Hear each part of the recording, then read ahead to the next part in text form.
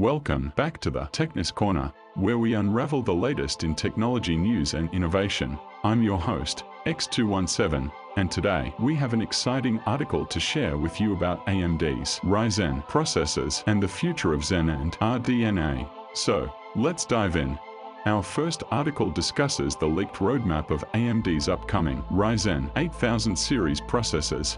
These powerful processors will be powered by Zen 5 architecture and incorporate Navi 3.5 also known as RDNA 3+. The roadmap reveals that AMD launched the new AM5 socket in 2022, supporting the Zen 5 architecture and offering significant CPU core and graphics upgrades on an annual basis. With various wattage options, AMD aims to deliver leading performance per watt across different market segments.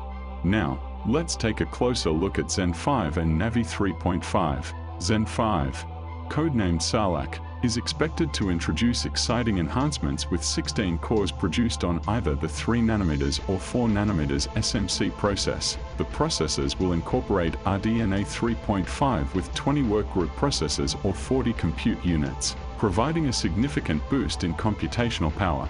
These advancements suggest that AMD is aiming to set a new standard for budget cards, potentially overshadowing offerings from NVIDIA and Intel.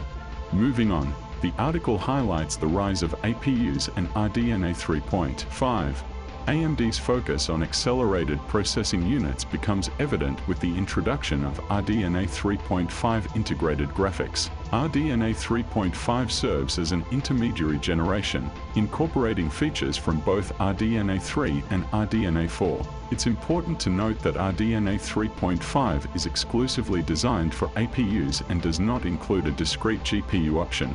As for the future of NVIDIA and AMD RDNA 4, the article speculates on both companies' strategies, while AMD focuses on APUs and RDNA 4 for discrete GPUs. NVIDIA is making strides in AI and graphics card sales. The exact details of RDNA 4 architecture remain uncertain, but leaks and rumors suggest that AMD will concentrate on performance, scalability, and competitiveness across multiple iterations, including mobile, APUs, and desktop.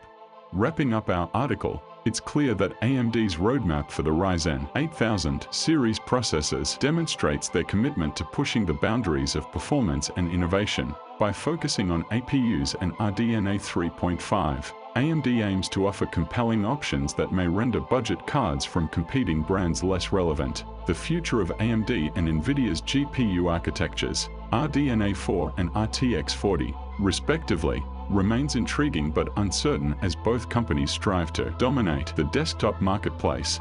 And that concludes today's article on AMD's Ryzen processors and the future of Zen and RDNA. Stay tuned for more exciting tech news and updates here on the Techness Corner. I'm your host X217, signing off. See you next time. Peace.